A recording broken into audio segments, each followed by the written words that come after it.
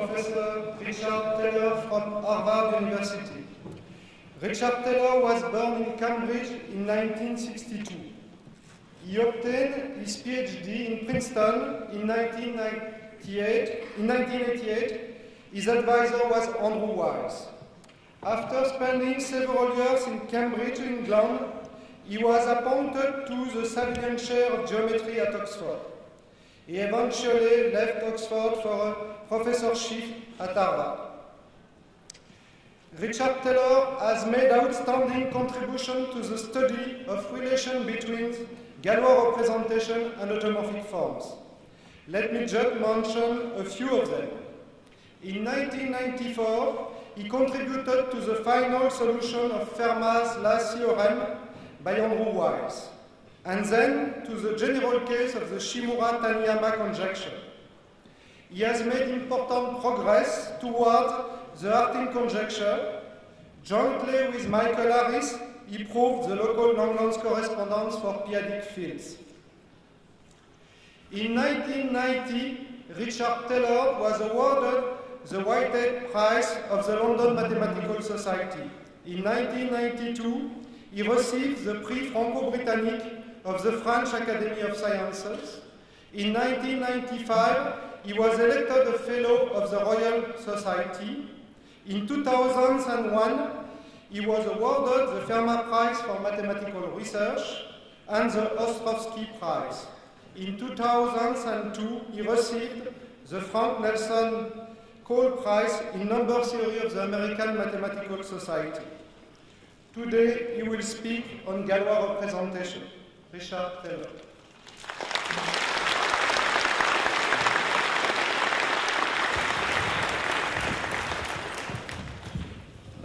Thank you very much, Gerard. And I'd like to thank the organizers for, for the invitation to speak here when they asked me to speak, they, they asked me to do two things. They asked me to give a colloquium style lecture that should be understandable to uh, a broad range of mathematicians, and they asked me to give a survey of the recent developments in the subject. I found it hard to, to combine both those things. If I were to give a, anything nearing a complete survey of the recent developments in the subject, I'd be forced to assume many uh, technical terms um, which wouldn't be comprehensible across a broad range.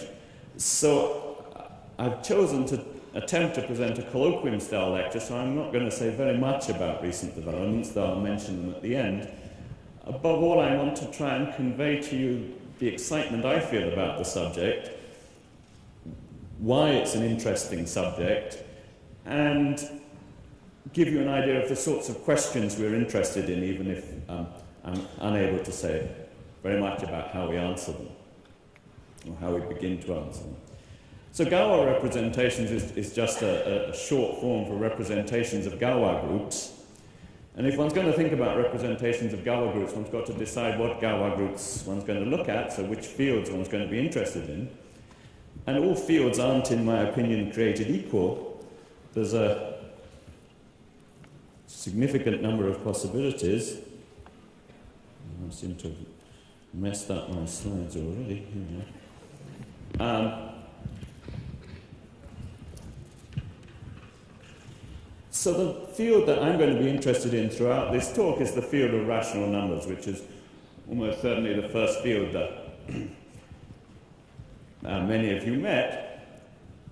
But there are other fields for which very similar things work um, which I'm going to say very little about. So most notably, there are the fields, function fields in one variable over a finite field, and that was the uh, topic of, I presume, of Laurent Lafforgue's talk at the beginning of this Congress. And then again, uh, similar things can be said, though in this case the, the situation is, is, is, not quite so uh, similar for local fields, for instance, p-adic fields. And if you're interested in what can be said in that case, you should go to Michael Harris's talk on that subject uh, this afternoon. The, we're now in pretty good shape. We understand pretty well what's happening in the cases of function fields and local fields. The, the main conjectures have been proven. Whereas in the case that I'm talking about of the rational numbers, uh, we're still very far from that state. Well, I'm, I'm conscious that, that many of you may not have thought about Galois groups since you took an undergraduate course in the subject, if you took an undergraduate course in the subject. So I'm, I'm going to try and start slowly, and in the hope that you remember your complex analysis better than your Galois theory, I'm going to start with uh, by talking about zeta functions. I should apologize to, to, the experts in the audience. I always feel embarrassed doing this. Um, so the most famous example of a zeta function is the Riemann zeta function, zeta of s, simply the function of a single complex variable s. It's the sum of from n equals 1 to infinity as n runs over positive integers, 1 over n to the s. It, that defines a holomorphic function in the right half plane, the real part of s greater than 1. And the first uh, fact to notice about it, the first important fact, is that it has an Euler product. You can rewrite the infinite sum as an infinite product over prime numbers. So in this second expression, p is running over prime numbers. And for each prime number, we have a relatively simple factor, which is a rational function of p to the minus s. And sort of the, the first deep discoveries about the Riemann zeta function are due to Riemann, who proved that this function defined in some right half plane in fact has analytic continuation to the whole complex plane, or I should say meromorphic continuation with a single simple pole at uh, s equals 1 and it satisfies a functional equation relating the, the values at s and 1 minus s. So I've written it here, pi is pi, gamma is the, the gamma function. So one might ask, why would a number theorist be interested in such a function? And there are many answers one can give to that sort of question. If I were an analytic number theorist, I would tell you that this function governs the distribution of prime numbers, how many prime numbers there are up to a certain number, but I'm an algebraic number theorist, so I won't tell you about that. I'll tell you that the special values of this function, so if one looks at this function on the whole complex plane and looks at it at points where it's not initially defined, but only defined by the process of analytic continuation, quite remarkably, you suddenly get rational numbers appearing. No reason to suppose, no reason to, no a priori reason why that should happen. You'd expect just some random transcendental number. But it turns out that at negative integers, it throws out a rational number. And more than that, or it throws out a rational number that has a, a very, that encodes deep algebraic information. So there are very precise ways in which that's true, and I don't want to explain them in great detail, but I've written one such theorem at the, the bottom of the slide. It's telling you a prime p divides this, the numerator of this rational number if and only a certain finite abelian group is non-trivial, and it's a part of a class group, and I don't really want to say much about it, but it, it uh, roughly speaking, measures in the integers, you can uniquely factorize any integer into a product of prime numbers. Instead of the integers, I take the ring z adjoin a p through to unity to the 2 pi i over p, then this is no longer the case. And this, the algebra of the situation gives you a finite group which measures how far you are from being able to do unique factorization. And the size of this group is intimately related to the, the values of this zeta function at negative integers. So I want to talk about a second example where there's a very similar sort of pattern, um, and that's the zeta functions for elliptic curves. So an elliptic curve uh, can perhaps most naturally be defined as a smooth curve of genus 1 with, a, with at least one rational point. Concretely, it can always be put in the form y squared is a cubic in x um, with rational coefficients, a and b, and it better be smooth, which is this condition. And the way I've done this is that you take the, complete this in projective space, the single rational, the, the assumed rational point is the point at infinity. So if you, if you, want something concrete, think about this. If you ask, why am I looking at such a peculiar, such a specific equation, it, because it really does uh, cover the general curve of genus 1. And the sort of question that, that number theorists are interested in is to find rational solutions to this equation. When can I find rational numbers x and y which satisfies this sort of cubic equation? And this, these questions of Fermat was certainly answered this question for some specific elliptic curves, and his method was refined over the years, and by the 1920s, Mordell was able to show that the, the, the, set of all rational solutions to this equation, well, first of all, a, it turns out to be an abelian group because um, you define three points to add up to zero if they happen to be collinear get an abelian group, and Mordell proved it was a finitely generated abelian group. So there's a finite abelian group which uh, is easy to calculate, and then the sort of the real measure of the number of rational solutions of this is something called the rank. You get uh, some, some number of copies of the infinite cyclic group. And so, for instance, the, this rank vanishes exactly when this equation has only finitely many solutions in the rational numbers. So one sort of question one might ask, given such a curve, can you determine whether it has finitely or infinitely many solutions? Uh, so, sort of a, a side, in Richard Feynman's wonderful book, You Must Be Joking, Mr. Feynman, he says that he enjoyed, as a graduate student in physics at Princeton, asking the math graduate students to pose him a problem he couldn't answer. And he says he didn't promise to be able to prove any theorem, but he promised to be able to figure out what was true, um, either by guesswork or calculating examples. And he said that the math graduate students never managed to figure out a way of he could always beat the math graduate students. So I, I wish there had been a number theory graduate student there who would have listed, say, half a dozen elliptic curves just written down equations of this form for specific values of a and b and asked him which ones had infinitely many rational points and which ones didn't.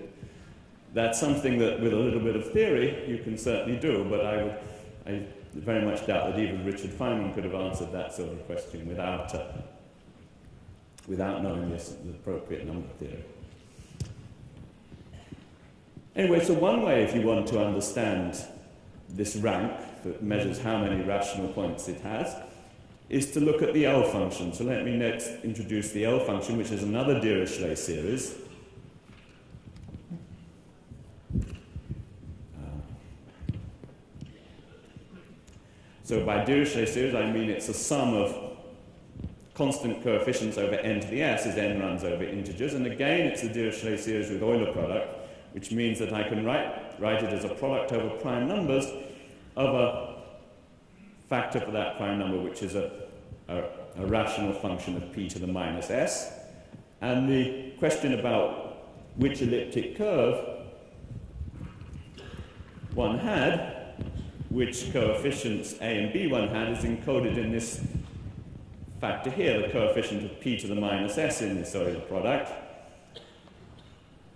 And that is telling you about the number of solutions here we were looking at this equation in rational numbers or complex numbers or something, but one can take the same equation and reduce it modulo p for any prime number p and look at the number of solutions in z mod pz of the corresponding congruence.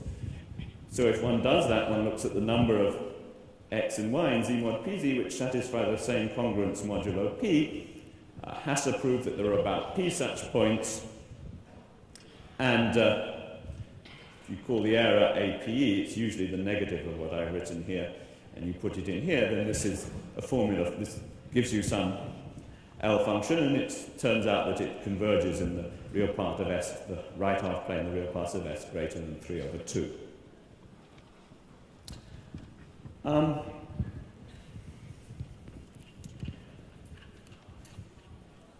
well, just as in the case of the Riemann zeta function, it turns out that this This L function has analytic continuation to the whole complex plane um, and satisfies a functional equation of a very similar form. The value of the L function at S is related to the value of the L function at 2 minus S with some factors intervening which are exponentials involving pi and the, and the gamma function.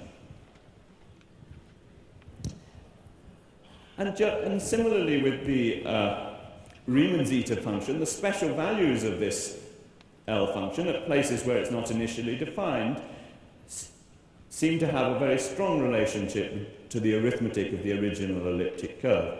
For instance, the rank, this measure of how many rational solutions there were to the original equation, is expected to be just the order of vanishing of this L function at the point s equals 1, whereas I say it's not initially defined. It was only defined by analytic continuation. Um, so, for instance, the original equation only has finitely many solutions exactly when this function, or we expect, exactly when this L function um, takes the value, uh, is non-zero at s equals 1. So the Landon Clay is now offering a million dollars for anybody who proves this uh, conjecture of Birch and Swinnerton Dyer. If I, if I was a if I was inclined to bet, I would say that this would be one of the first million dollars that he hands out for his list of seven problems. It's a 40 year old problem, as you see, and in a sense, it has been, vast majority of cases have already been settled. Gross-Zagier and Victor Kolyvagin uh, showed that this conjecture is true as long as the order of vanishing of the L function um, is no more than one, and experimentally that happens the vast majority of the time. I should say that they proved it modulo the fact that the L function was actually defined at the point s equals 1 with something slightly stronger. So for it really to be true for all elliptic curves, to find out the rational numbers, you also need this more recent theorem.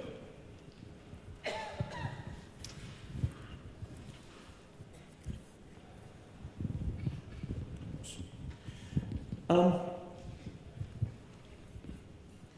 well, L functions should be much more general than this in arithmetic. And in fact, given any smooth projective variety,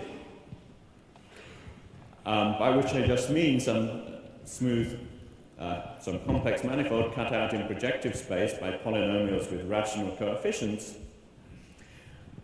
one can associate to it a zeta function which is a product over prime numbers again. Again, it's a Dirichlet series, something of the form sum an over n to the s, and again it has an Euler product. It's a product over primes p of a rational function of p to the minus s.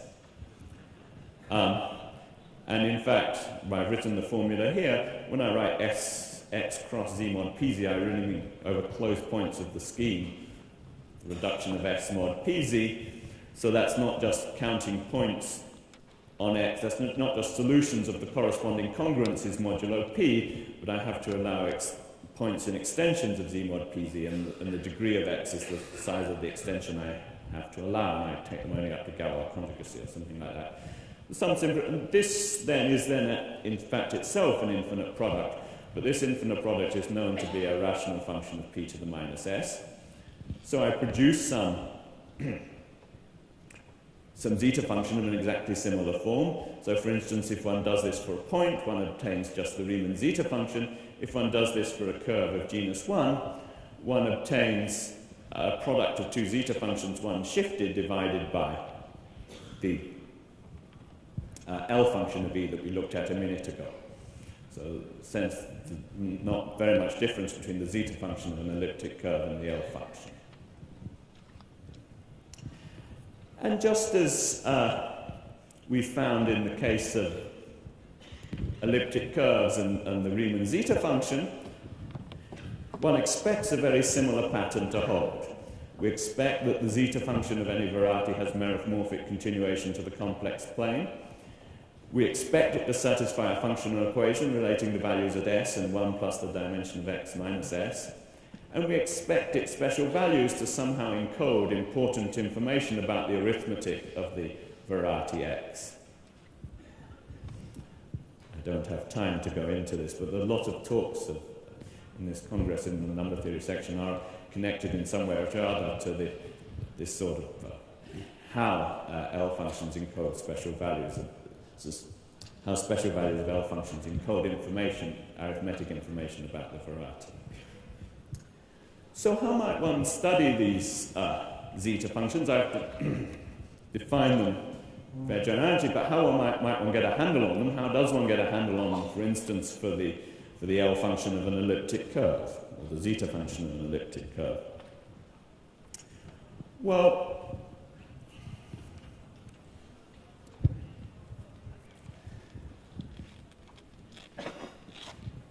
the main tool it was uh, proposed by Grothendieck in the 1960s was to somehow relate the L function to the cohomology of the curve and to the action of a Galois group on that cohomology.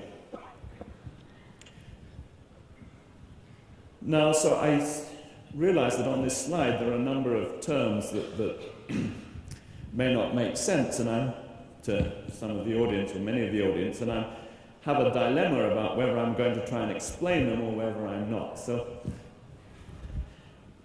I think what I'm going to try and do is explain them.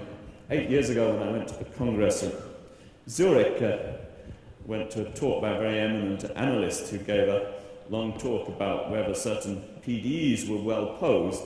And I got rather little from the talk because I didn't know what well posed meant. So I took away the lesson that um, I should define my terms. On the other hand, maybe that's equally dangerous that um, people who don't, a danger that people who didn't know what they meant before won't have internalized them by the time I finish. But I decided to try and define the terms, so why don't I do that over here for a minute?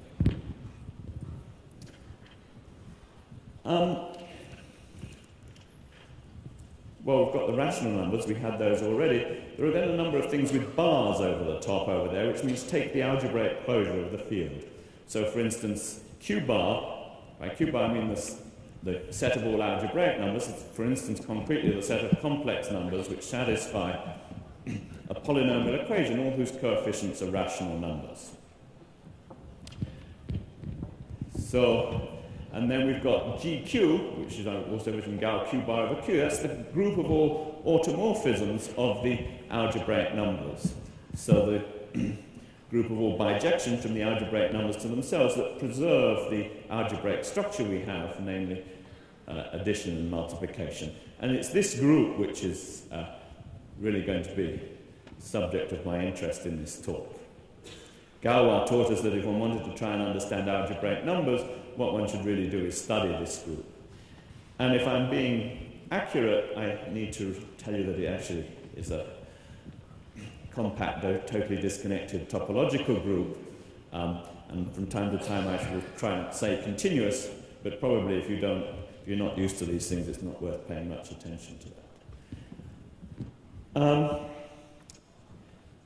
there are things you can say about this as an abstract group or an abstract topological group, but my view is that the most interesting questions one can ask are not about it simply as an abstract group, but with an abstract group with certain additional structure. Uh, so I need to tell you about that additional structure. The additional structure is basically parameterized by prime numbers.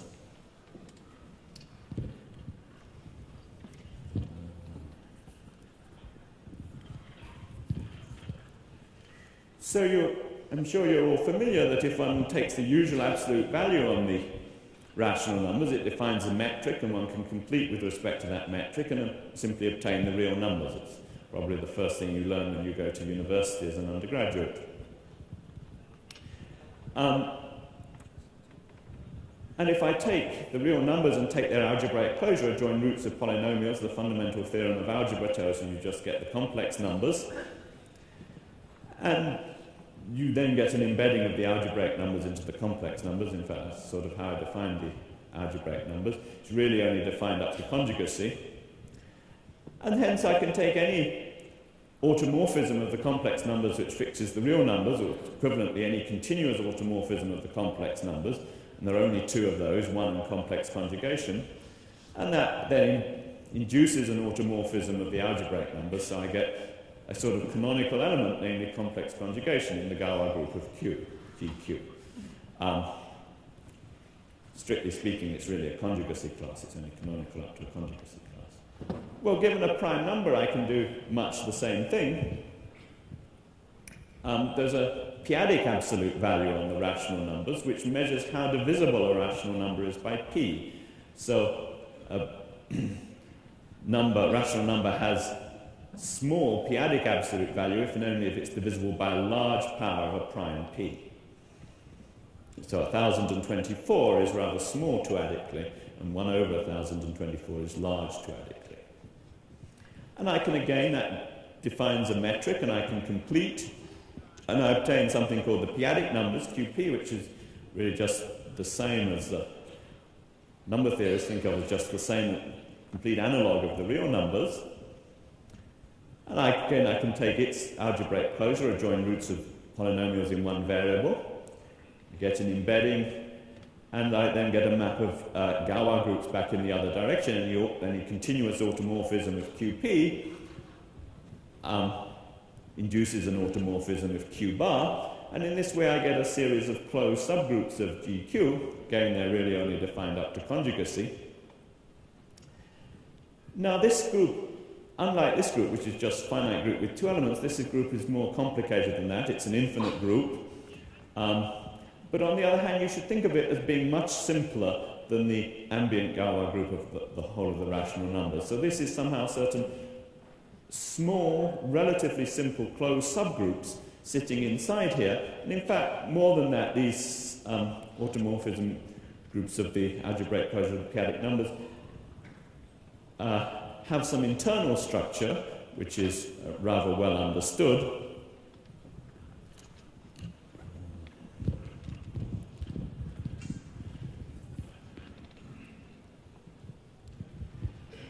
Um, in particular, they have a procyclic, free procyclic quotient with a canonical generator called the Frobenius element, and the kernel of the map to there is the inertia called the inertia at P, the inertia group at P. I don't want to spend too long on all this. Um,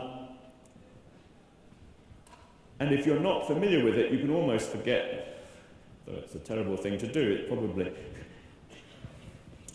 In some sense, if you're not familiar with this, you can almost forget the inertia group and just think of the Galois group of Q, populated by these distinguished elements, namely the Frobenius elements for each, for each prime p. There's a distinguished element or distinguished conjugacy class, namely the Frobenius element. And for, for me, the sort of motivating algebraic problem is to describe the group GQ, describe this Galois group which encodes information about all the algebraic numbers in a way that keeps track of this additional structure, namely these Frobenius elements, and if you're being more correct, also the, uh, these subgroups, which are the Galois groups of these local fields, QP, p-adic numbers.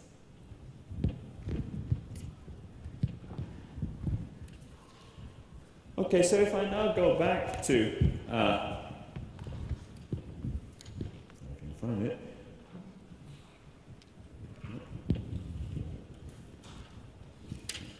If I go back to uh, what Grothendieck did, um, he said if I look at the cohomology of the complex points, not with uh, rational co coefficients or z coefficients or something, but with coefficients in uh, uh, one of these p-adic fields, and traditional now to use the letter L, so L is a prime, in one of these L-adic fields, then this can be defined not just uh, topologically from the complex points, but algebraically, and it inherits an action of the uh, group of automorphisms of the algebraic numbers. It inherits an action of GQ.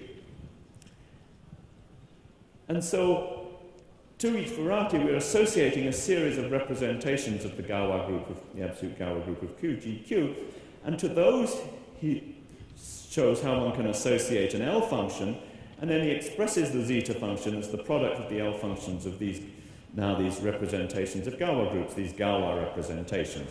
For instance, the expression I gave you before for the zeta function of an elliptic curve, this is the term corresponding to H0, this to H2, and this to H1. So I, next thing I want to tell you is how you associate an L function to a,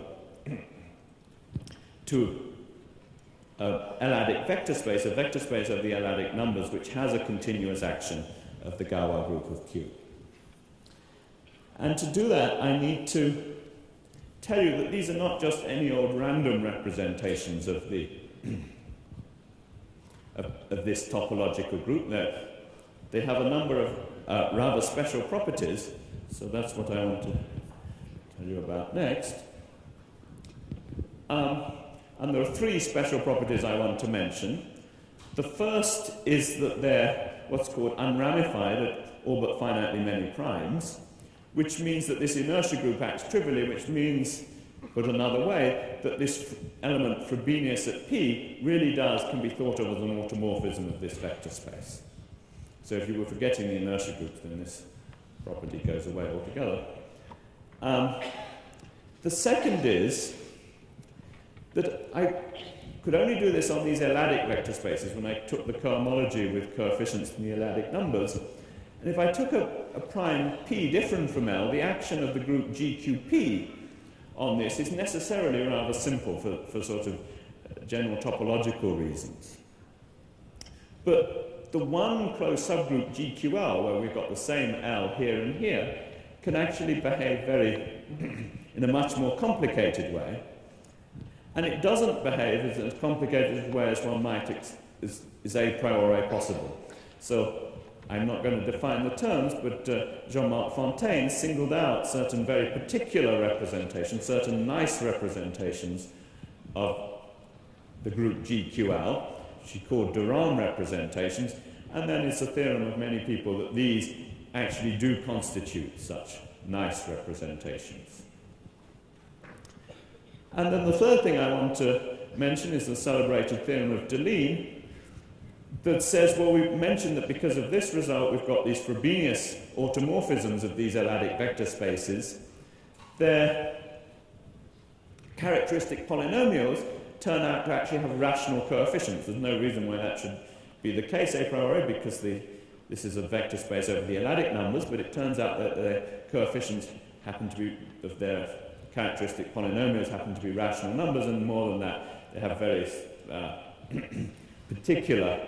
Uh, once the roots of that characteristic polynomial can then be thought of as complex numbers, and then they have Archimedean absolute value uh, related to p to the i over 2 as the degree of the cohomology. Okay, well, if I have a any uh, L-adic vector space with an action of the absolute Galois group of Q with, with these properties on this slide over here, then I can associate to it an L function.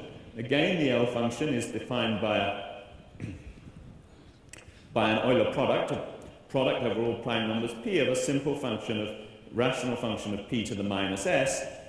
And I've written it in some generality here, but for all but finitely many primes p, you can sort of forget this. It's just this is very close to being the characteristic polynomial of Frobenius at P on this vector space, for all but finitely many primes Frobenius at, by first property over here, uh, for all but finitely many primes Frobenius at P really does provide an automorphism of V. I take its characteristic polynomial and I substitute P to the minus S and take 1 over it and take the product. And by Deligne's uh, theorem, that will converge in the right half plane to some holomorphic function. And then um, this is the L function that, that, uh, that appears in uh, Grothendieck's factorization of the zeta function. But in fact, one believes that somewhat more should be true.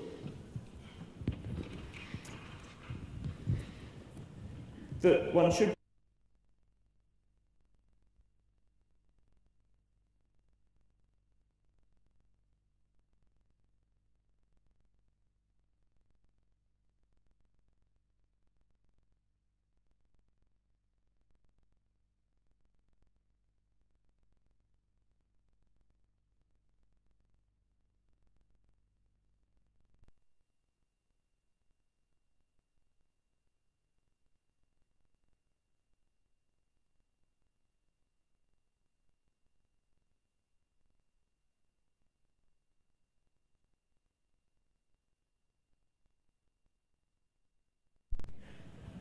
And the L function that I associate to each of these Galois pieces of the Galois representation independent of L should be, so the L function should not depend on which L I choose.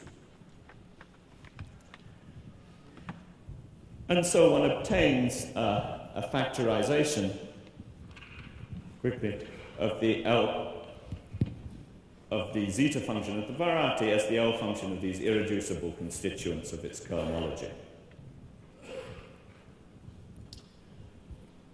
Okay, so I've said that one can go from a variety to a series of analytic representations, and from those to an L function, or one can directly take the zeta function. Another question one can ask is which, which representations of the Galois group of Q arise in this way? And uh, there's a conjectural answer to that as well.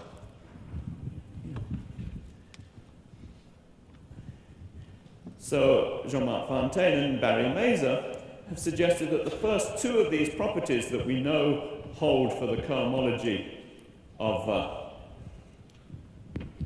of uh, smooth projective varieties should in fact characterize those L-adic representations of of the Galois group of Q that arise from geometry in some such way.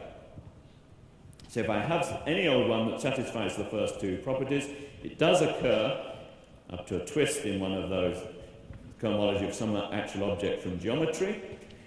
In particular, by Deligne's theorem, we would then expect it also to satisfy this third property, which means in some sense that Deligne's deep theorem should be a purely algebraic consequence of these two these first two things. So as far as I know, no one's got any idea why, how that, you might give a purely algebraic proof of that. And more than that, one believes that the L function has analytic continuation to the whole complex plane and satisfies uh, a functional equation relating the L function from V at S to L function of the dual of V at 1 minus S.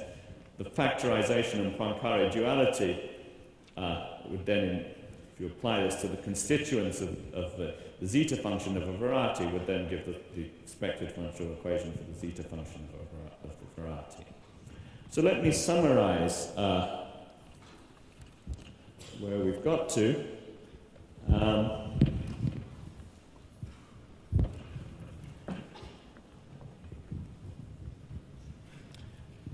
we have three things that should, well, two things that should be essentially the same. There are these irreducible pieces of the cohomology of varieties over Q, some geometric object telling us about the various varieties that exist over, over the rational numbers.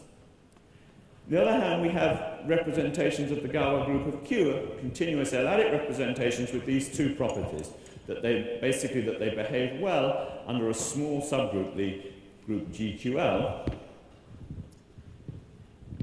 and those we expect to be the same, and to each of those we can attach these L functions, which we expect to be entire functions with a Dirichlet series with Euler product, which are entire and satisfy a functional equation.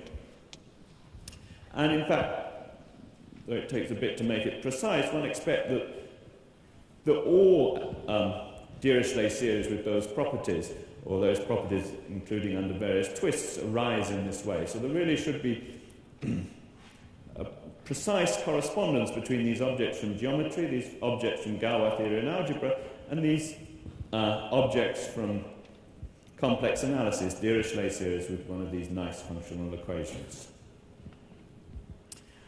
Well, there's a fourth object which um, somehow I really need to fit into this picture, and which I think, for lack of time, I'm going to say almost nothing about. Um, and that's automorphic forms. And that's something that's related to discrete subgroups of Lie groups. Um, so if I was going to very quickly give you an idea of what, what this involves, if I, um, I need to introduce the ring of Adeles, which is somehow trying to put together these various completions of the rational numbers for different primes p, for the p-adic absolute values and for the Archimedean absolute value all in one. So it's not quite the product. Algebraically, it's a sub-ring of the product. Uh, and if you want to know what the topology is, you, you, look at this definition and think what the natural topology is. So it's some way of putting together all these completions. It's approaching the product of the completions. And one way to see where this comes in is through class field theory, which was one of the great achievements in number theory in the first half of the last century. And it, one way of thinking of class theory is it allows you to give a, a description of the abelianization, the maximal abelian quotient of the various Galois groups we've been looking at. So in the local case, there's a map, an injective map with dense image, which says the abelianization of the Galois group p-adic numbers is very much like just the multiplicative group of non-zero elements in the p-adic field. For R, there's something similar. Uh, well, doesn't have much content.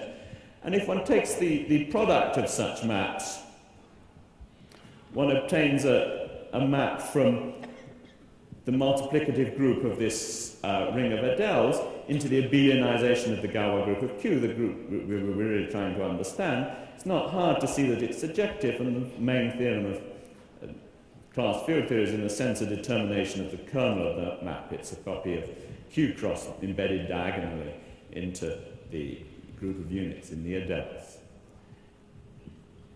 And in a sense, what I'm talking about in this lecture is attempts to generalize this picture of the abelianization to understand the whole of the Galois group of Q.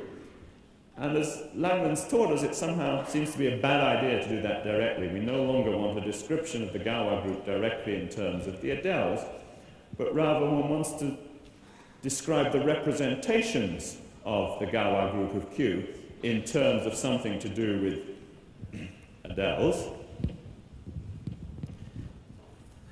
And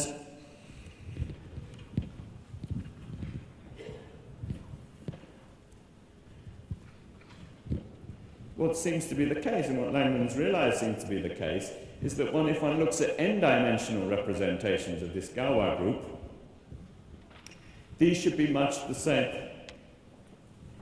Somehow one wants to generalize both sides of this, this isomorphism in different ways. If I look at one-dimensional representations of GQ, they factor through here, so they're the same as one-dimensional irreducible representations of GL1 of the Adeles, which have some which vanish on GL1 of Q. So somehow one wants to generalize that by looking at represent by saying that n-dimensional representations of the Galois group of Q should correspond to irreducible representations of GLN of the Adele ring, which are automorphic. Well, there's some other words here, but the key word is automorphic. And that's some generalization of the fact that this Artin map has kernel Q cross, namely they're representations that occur in some space of sort of regular representation of GLN of A, but modded out, but in functions that are forced to be left invariant by GLN of Q. So this may seem a bit, uh, it is a bit abstract and probably a bit fast, but these are things, as I say, that are really related to discrete subgroups of Lie groups, and some idea of that can be gotten from this equality I've written on the uh, bottom of the slide, that this quotient is somehow very closely related to, to the quotient of GLN of the real numbers by certain discrete subgroups, like GLN Z. Um, and the other thing I, should, I could maybe say to try and help give you an idea of these is what happens for small values of n. For instance, if n equals, um, well, if n equals 1, you just get Dirichlet characters. But if n equals 2, these are much the same thing, at least if I add the, words regu- add the word regular out here, these are the same things as uh, classical holomorphic modular forms.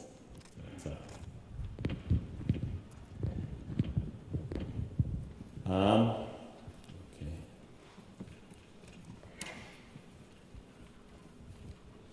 So with that said, we can extend this diagram over here. We have a fourth corner to the square, series of things that should all be the same, as well as these objects from geometry, and these objects from algebra, and these objects from complex analysis. We now have this thing from discrete subgroups of Lie groups, and these four sets of objects should all be in natural bijection. So what do we know? Well, we know how to go from varieties, although this isn't, even this corner isn't known to be well defined, but since if it was well defined, one knows how to get across all these other things are well defined. This is only well defined if one assumes the conjecture of Tate I put up earlier. One knows how to go from here to here using this L-adic cohomology of Grothendieck. The other, only other thing we know well is how to go from algebraic hospital automorphic representations to L functions with good properties, thanks to the theorem of Godement and Jacquet. There are two directions that we under, where we have significant partial results. Um, if we have L functions with good properties, there are theorems called converse theorems, which in various cases allow one to go back to um, towards automorphic forms. In fact, I think Cogdell and Piatetsky Shapiro have spoken about that at this Congress. There are also very significant partial results that allow you to go from automorphic forms either to Galois representations or maybe to, to these motifs, if, as far as this makes sense, due to people like Kottwitz and Clozel. In general, for n equals 2, I guess it's due to people like Shimura, Eichler, Shimura, and Deligne. So there is significant information connecting these two and allowing one to go from the sort of bottom line to the top line. What is most mysterious is how to come back. How, given something from geometry or algebra, can one get back to these automorphic forms or L functions and show that they have good properties? And here the results are very limited.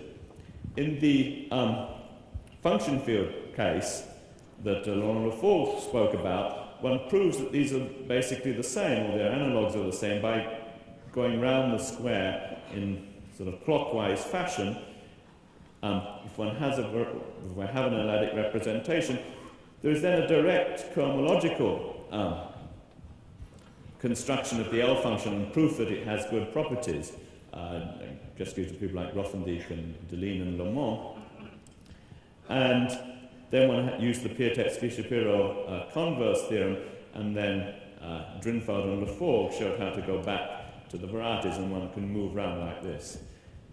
In contrast, in the case of the rational numbers, or more generally of number fields, nobody has ever gone directly from something on the top line, something geometric or a Galois representation, to proving that an L function is tau. The only theorems that have ever been proved uh, in the direction of this dotted blue arrow, that sometimes you can go from a Galois direction from automorphic form. So all attempts that have given something so far towards this correspondence in the case of Q you've tried to go around this triangle and then associate L functions and automorphic forms sort of separately.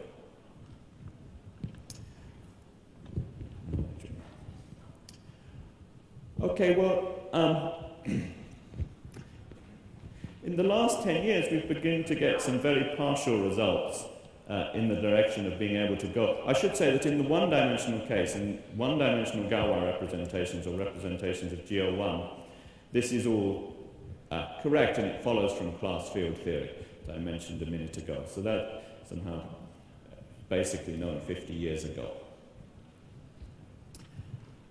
Okay, so last 10 years or so, there have been some results that have talked about going from the top line to the bottom line, and that's what I want to uh, very quickly talk about in the uh, 10 minutes or so that remain to me. Um, so I've listed the basic techniques that we have at the moment as far as I can I understand them. Well, there's class field theory, which handled the case n equals 1 very nicely. Um, there are then a couple of analytic techniques. There's uh, Langlands' theory of base change. Uh, if I have two number fields with the one a cyclic extension of the other, I can restrict a Galois representation of one, one Galois group to, to the other, and this provides an analog of that for, um, for automorphic forms. And then there are these converse theorems which show that certain L functions with good properties have to come from automorphic forms.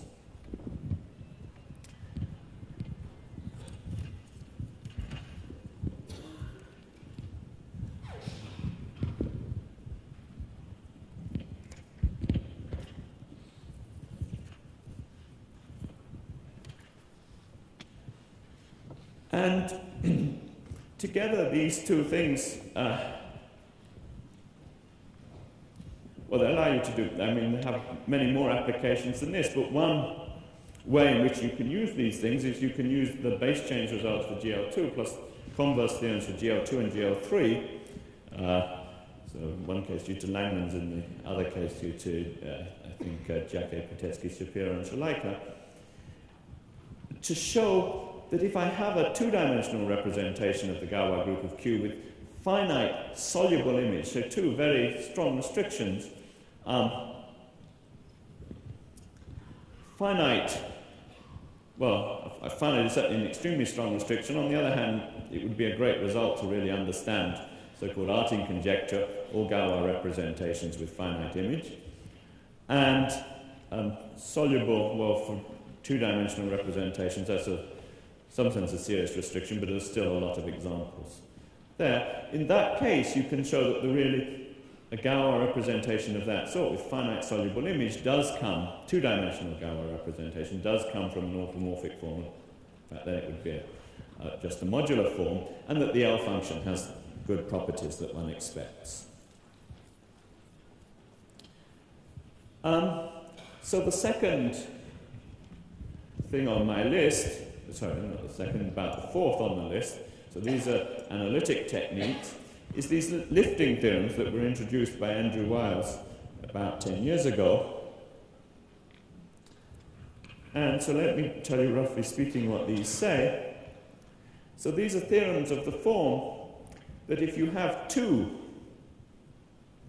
um, L-adic representations, and if it happens to be the case that the reduction, so without loss of generality you can conjugate them so they land in the ring of integers of the field in question, and then you can reduce the modulo of the maximal ideal, a simple example, L. So if they have the same reduction and one of them comes from automorphic forms, has a good L function and so on, then the same should be true of the other. So I've put and if dot dot dot, and I'll say a bit about dot dot dot in just a second. But they're of the form if I have two, two L-adic representations with the same reduction mod L, so just a finite amount of information, and one is automorphic and so is the other. And this can be very profitably combined with the Langlands Tunnell theorem because one could, for instance, take for this second representation R prime something with finite image. In many cases, that's quite possible. And if one does that, then one obtains that two-dimensional representations whose reduction has a soluble image, and so in particular two-dimensional representations with prosoluble image arise from automorphic representations. But again, this technique is very much uh, restricted to the soluble case. The argument, just as in base change, the argument is, is somehow by a reduction to the abelian case. You argue mod higher and higher powers of L, and then you're left with abelian questions. This happens to have important applications for elliptic curves because of the lucky coincidence that GL2 of Z3 happens to be a prosoluble pro-soluble group. But this very rarely happens, so somehow you, it was a piece of extremely good fortune that you can treat elliptic curves in this way. So this proves the Shimura-Taniyama conjecture that, the, that uh, any elliptic curve is modular, which is basically the theorem I stated uh, beginning of my talk, that the L function of uh, an elliptic curve is an entire function and satisfies a functional equation. And I've added at the bottom of the slide because you might say, what are these jokers up to? They've spent 50 years on GL1, they've spent another 50 years on GL2 and they've not finished it. Are they getting anywhere? And I, I want to suggest that, that the partial results we do have um, are extremely significant. So, for instance, uh, Gerhard Frey noticed that, that this Shimura-Taniyama conjecture, plus a little more, in fact implies Fermat's last theorem. So I, I strongly believe that the partial results that we have, that although very partial, are in fact uh, uh, deep mathematics. So let me say uh, just a quick word about what this dot dot dot is. I, have sort of given a sort of theorem schema. We, there are theorems of the form that if two L-adic representations have the same reduction and one is automorphic then the other is what, what sort of condi- additional conditions does one expect to have to impose? And again, I'm not stating precise theorems, but to my mind, there are sort of five basic sort of assumptions one has to put on, and this is more for the, for the expert or the semi-expert. The, the representation should be essentially self-dual. It should preserve some bilinear pairing up to a multiplier character, and the, the pairing should be symmetric or antisymmetric depending on whether this multiplier character is an odd or even character if it takes complex conjugation to plus or minus 1. And as far as I can see, that is completely essential to the method, and I can't find it very hard to imagine proving this sort of theorem without such an assumption. Equally essential to the method, as far as I can see, is that, well, this representation should be Rham, or one doesn't expect anything to be true if it's not Rham, so that's not surprising. But there's a second regularity assumption, distinct by tech numbers, which will only mean something to the experts. And, experts. and again, I believe that that is essential to the method. It's very hard to, to see how, how it would work without.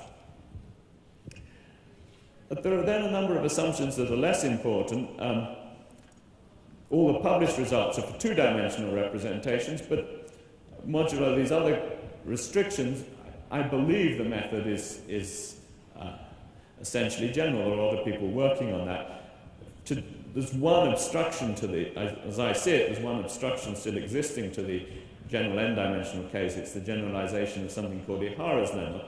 And that is a problem purely in the, in the theory of discrete subgroups of Lie groups. And I don't have time to state it, but it's in the, the write-up of this talk, and I would urge experts to look at it because it really is important to us, and we're not the sort of people who are, who are really qualified to, to prove it. And so maybe somebody who's more expert could could prove such a statement. There's the assumption that the R mod L should have large image in some way, maybe be irreducible or something.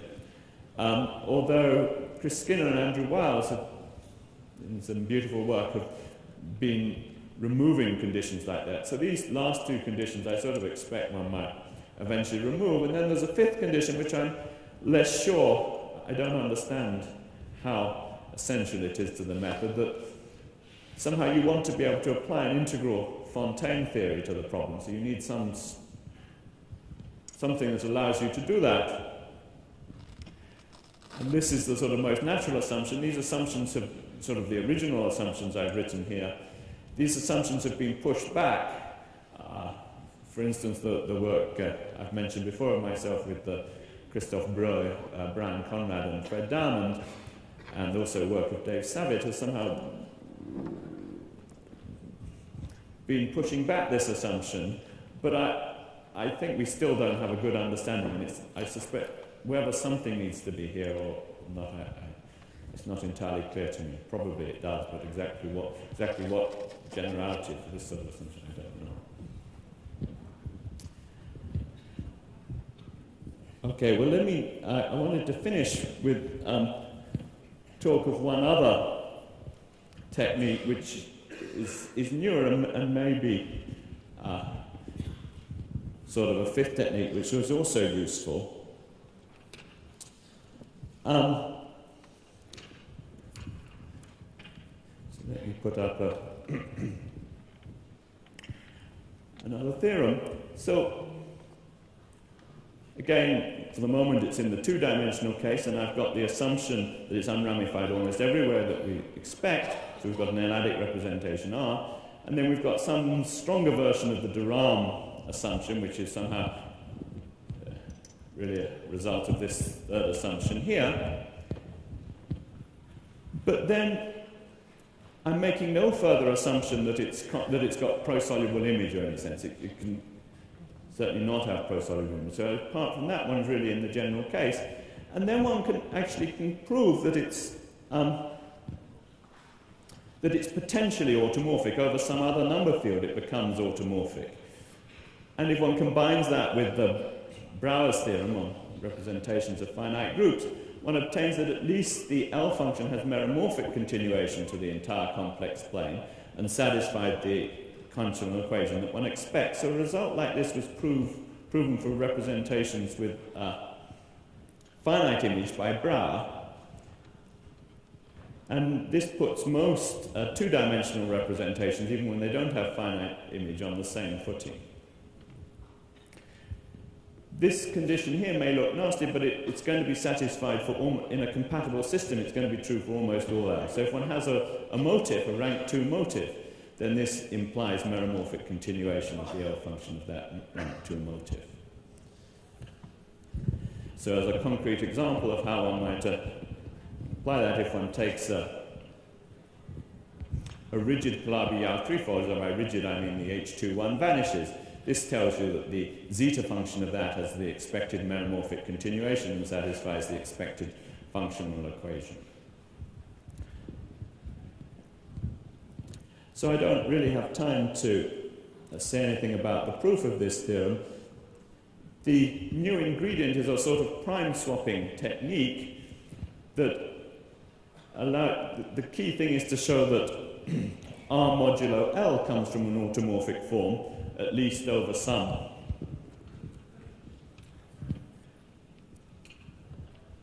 Not over necessarily over Q, but some over some other number field.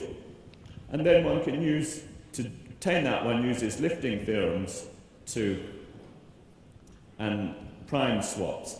And the key ingredient is something about the existence of uh, algebraic points with satisfying social local conditions. So I've stated a proposition that, that, suffices for what we need. And I've also stated a question here, which I'd be very interested. I don't, I don't know if one can expect whether one should expect a positive or negative answer to this question, but I'd be very interested.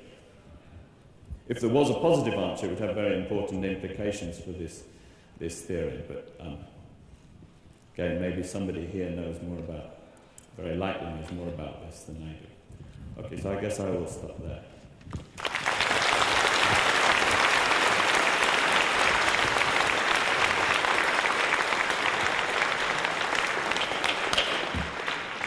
So thank you very much for this beautiful talk. So due to the large audience, if you have any questions, please ask them directly to the speaker. Let us thank again the speaker.